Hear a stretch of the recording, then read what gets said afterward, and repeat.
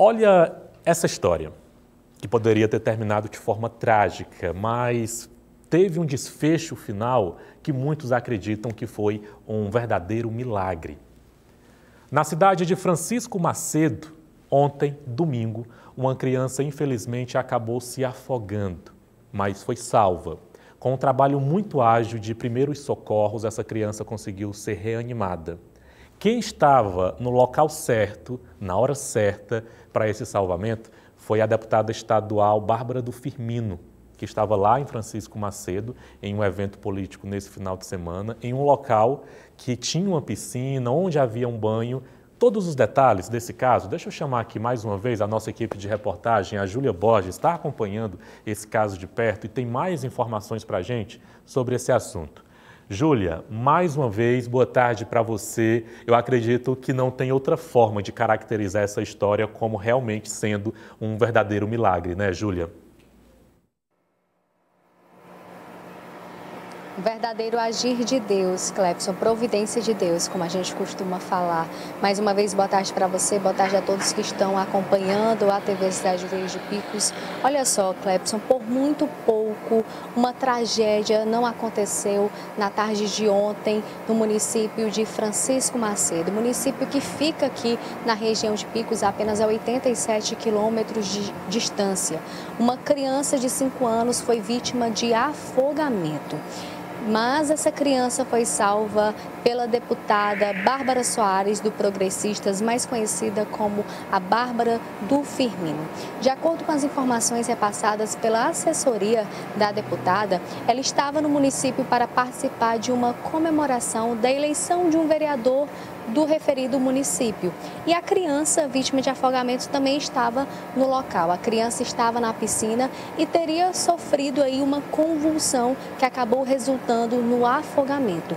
O menino foi retirado da água desacordado e os vídeos que circulam nas redes sociais mostram a deputada ajoelhada ali aos pés da criança, realizando a massagem cardíaca, realizando também a respiração boca a boca, esses procedimentos de primeiros socorros para que a criança criança voltasse à consciência, né, tivesse ali uma resposta.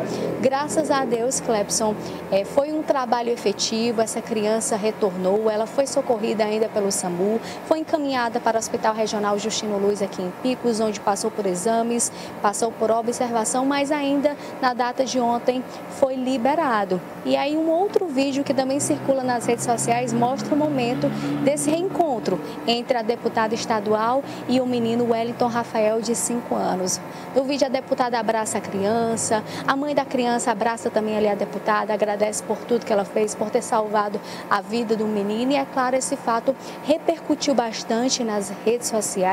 Inclusive, a deputada gravou um vídeo falando mais sobre esse assunto. Vamos ouvi-la.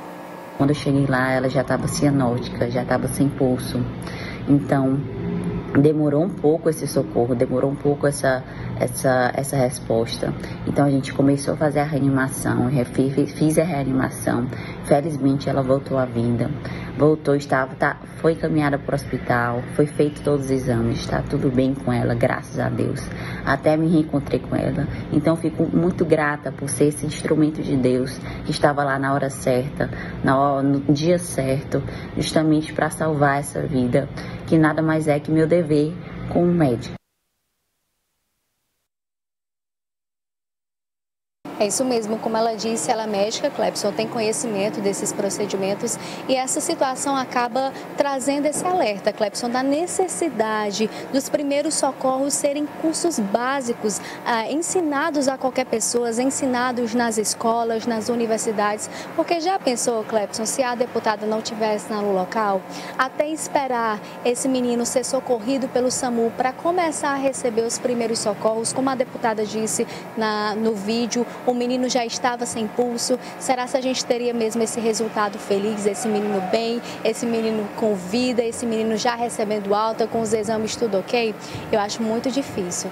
Mas como você disse, é, na hora certa, no lugar certo, esta mulher, a deputada, estava no local e conseguiu fazer o salvamento dessa criança. Clebson.